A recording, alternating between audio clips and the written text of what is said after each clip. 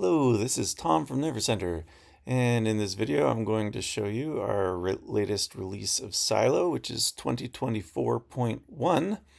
And this release focuses on um, UVs, UV layouts, and in particular, um, this new Auto UVs modifier that we've made.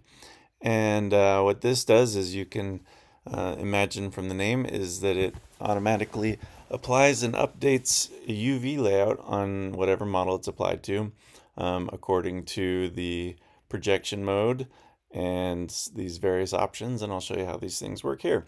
So on this model I've just got this sort of basic house thing and if I toggle off the modifiers I've got that set to my forward slash button that I can toggle them on and off. You can see this is the base model with uh, not good UV maps and uh, has no depth to the walls but we have a shell modifier on to give it that depth automatically, and then this auto UVs to apply using the planar regions um, layout method to automatically generate UVs for this.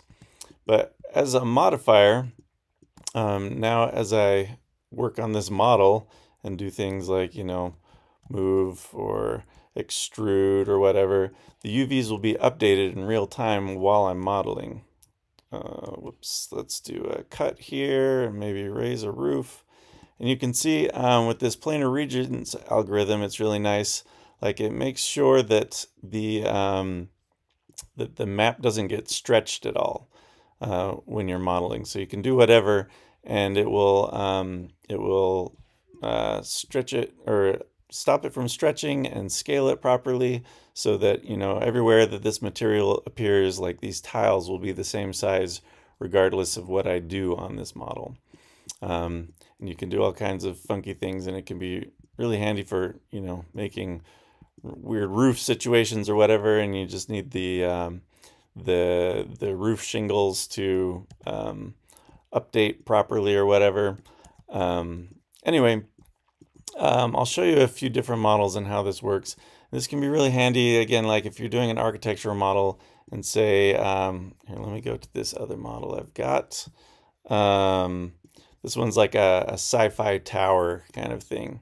If you've got a model where you're just going to want mostly a, um, a repeating material texture, then this is a great candidate for that kind of thing. So if I toggle it off, you can see it doesn't really have UVs on. They look quite nice. Um, and this planar regions algorithm, this has been updated. So this is doing a few things that it didn't used to do. One is that it's, um, if you've got orient to world turned on, then it will basically always make the bottom of the texture map align as best it can with the world down the negative y axis. So um, you'll note as like uh, if I make this, this region more slanty, um, once I get above even, it flips so that the, the bottom of the texture map is pointing towards the world down. And, uh, you know, that's really nice for things like bricks or other materials that you might have that have an orientation that they would show up in in the real world. Um, so anyway, that's handy. Uh, like I say, there's this scale to world check mark. If this is unchecked, then the texture map is basically bound to UV region 0 to 1. And so that's why you can't see anything because this is a big model and each of these has just a tiny portion of the UV map. But if I have scale to world on, then um, it's, it's scaling it to the world and it allows the UVs to go out of the bounds of that. And moreover, if I like scale the whole model, you can see the, the relative size of that material on the model is staying the same. And so, um, so if you've got a material and you've got a certain size you want it to be, you can apply that. You can adjust the whole scale for it. So I can tweak the scale here and then say I decide this is what I want the size of each of these tiles to be in the real world situation. And then when I scale my model up and down, they'll stay that same size.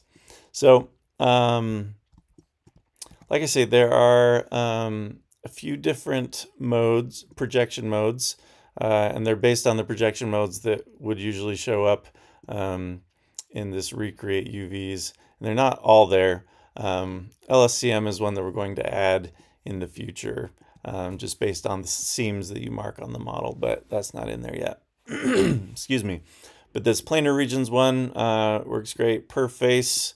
Just uh, you know treats each face totally individually. Uh, the planar regions one, um, it will make it if two polygons are coplanar, then it will group them together and the texture will go seamlessly across those. But when we've got it on the per face method, it just does it per face. And you can see often it'll, it'll align it with um, whatever edge it chooses first in each face. And so they can end up being oriented all different ways. Um, there's cubic projection.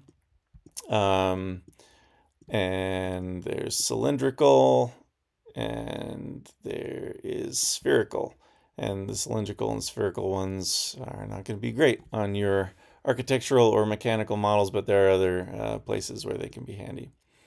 Um, anyway uh, again with the uh, the planar regions one is is kind of uh, the most handy one for this probably when you're doing mechanical or architectural models like I say that have just a, a material that goes around them. Um, let me show one more model with this. Uh, this one's kind of fun, just like a little tower. And this has similar modifiers as that first one that I showed. It's got, this is with the modifiers turned off. This is with them turned on. Both the uh, roof and the, uh, the uh, walls of this tower have a shell modifier and an auto UVs modifier. But um, like if I come up to the roof and I um, select all these edges around it and I cut. Now as I move this up and down, you can see it it will sort of, it's like a, does a really good um, shingle job. It's a good roofer. And it makes sure, again, that they're all always oriented towards uh, towards world down when I've got that orient to world on there. And regardless of what I do here, it will just keep these shingles looking nice and give this sort of a minaret look or whatever, a wood shingled minaret. Um, if I come down here to the tower, I can do similar things. Um, let's select the uh, ring of edges and cut them and can move this up or down. You can see when I scale it, it's doing all that nicely. Um, I can make another window in here. And again, this is this is really a flat object. There's no depth to the walls of this tower other than with the modifier. So I can do things like just extrude a new face and scale that down.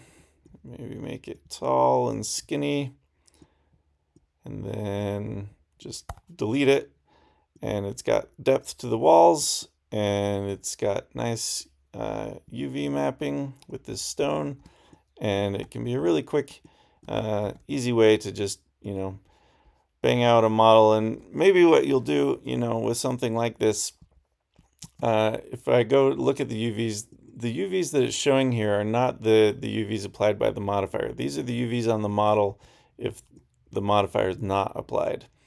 Um, but if I want to use these UVs and tweak them, I can always come in here and bake the modifiers and then it will show me what I've got here. And this has them all overlapping, but then you can do something like come into the UVs menu, arrange them in bounds, and then scale it up and get it to a scale that you want. And then you've got, you know, a nice sort of set of things to work with, and then you can tweak them however you want beyond that point.